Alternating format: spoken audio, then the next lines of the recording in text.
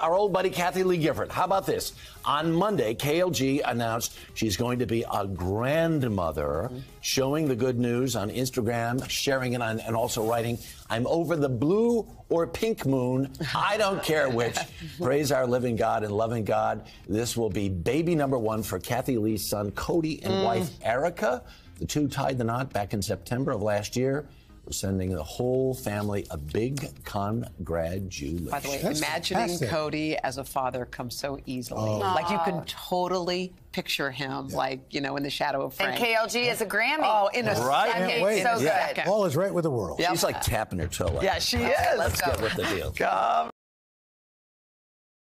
Hey, thanks for watching our YouTube channel. Find your favorite recipes, celebrity interviews, uplifting stories, shop our favorite deals, and so much more with the Today app. Download it now.